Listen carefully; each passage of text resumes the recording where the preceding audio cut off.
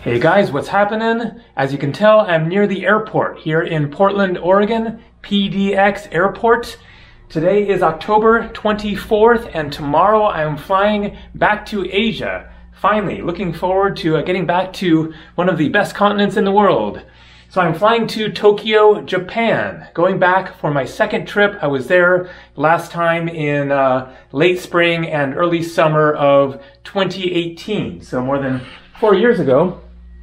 It is going to be quite different this time because it is late October going into November. It is going to be chilly, and so this is not necessarily going to be the uh, best representation of what exactly you might want to bring on a trip to Asia because it will depend, of course, on where you're going and what time of year. So this is more of a cold weather selection of stuff here. If you're going to Thailand or Bali or the Philippines, and you might want, you know, more shorts and uh, bikinis and uh, sandals and less of the uh, warm shirts and hats. But anyways, I just wanted to uh, show you what's in my backpack. Much of the stuff is stuff that is in there regardless of where I'm going, and then you just shift the uh, clothes around, of course, depending on the various conditions of uh, where you're headed. So let's get started here. First with the big backpack.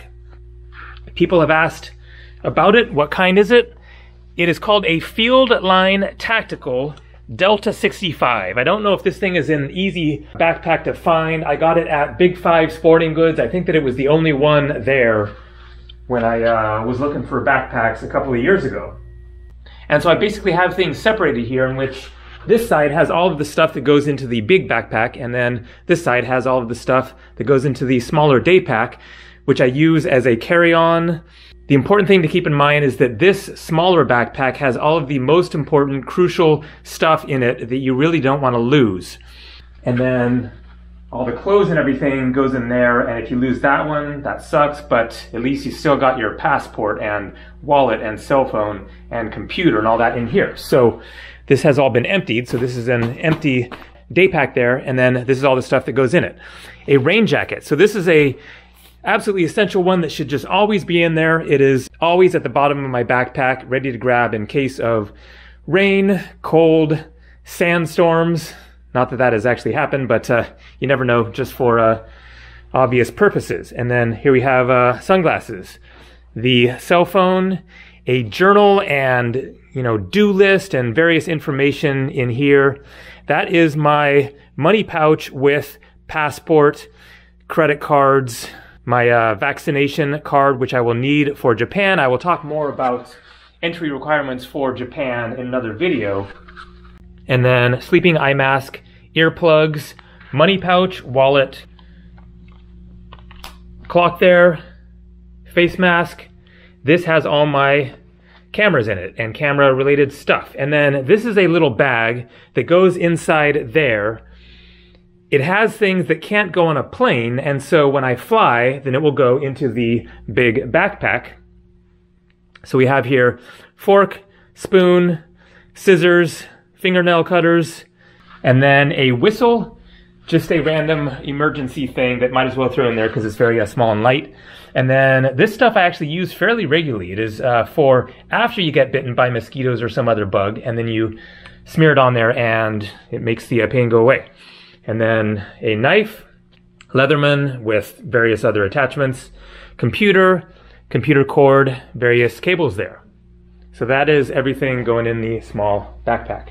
Here we have comfy pants, another pair of jeans. And of course, everything I'm wearing goes with socks, jeans, long sleeve shirt, and then shoes right there. And then I'm bringing the flip flops not because I'm expecting to be walking around Japan as it's cooling down wearing the flip flops, but it is just a good thing to have, especially like if you stay at a hostel and you don't want to have to put your shoes on all the time going back and forth to the uh, restrooms or who knows what. Maybe it's an especially warm day and you end up uh, wearing them um, outside. And then super warm socks for wearing indoors, kind of like muckalucks too thick to wear with a pair of shoes, but great for indoors when it's chilly. Here we have an assortment of long sleeve shirts, three more long sleeve shirts there. My toiletries bag, the usual stuff. A laundry bag there. Everything is nice and clean now, so starting off uh, fresh. My blanket, warm hat, sun hat, book, 12 pairs of underwear, socks, t shirts, and a couple of little bit nicer button up shirts, a pair of shorts here that I'm unlikely to use, but you never know, a sarong type thing that uh, doubles as a towel, a bag here with assorted random things in it, the most important being two different socket adapters. So this is the European Indian one. I'm not exactly sure what it will be in Japan. I think probably this one. And then this has all of them for basically most countries that you might go to, including this one. But it is good to have a double just in case you lose one. And also, this is the most commonly used one, and it fits into uh, different types of sockets. It's slightly different, a little bit thicker. Sometimes you'll be somewhere that uses the two prongs, but these are too thick. And then this one has the thinner one. So it is just kind of a uh, thing to double up there and make sure you have your uh, bases covered. And then a little lock there, a uh, neck warmer thing, a shawl, also a neck warmer, warm gloves. And so this is like in case it does get fairly chilly. Swim trunks, which won't be used for going to the beach, not planning on any uh, beach action, but for like hot tubs or whatever. And then a uh, warm jacket. So this is different from the rain jacket there. That is a much thinner jacket. And then this will double as a rain jacket. It has a hood also that is in the uh, day pack there, but it is significantly warmer there, and that will be great for snowy conditions, you know, generally colder weather. A cup here for general use, and then a water bottle, and I highly recommend this kind, the insulated kind, because I only put water in it, but if it is hot out and uh, you're going to the beach, then you put in cold water, nice cold water from the fridge, and then hours later on the beach, you still have cold water. It doesn't heat up like uh, a non-insulated water bottle.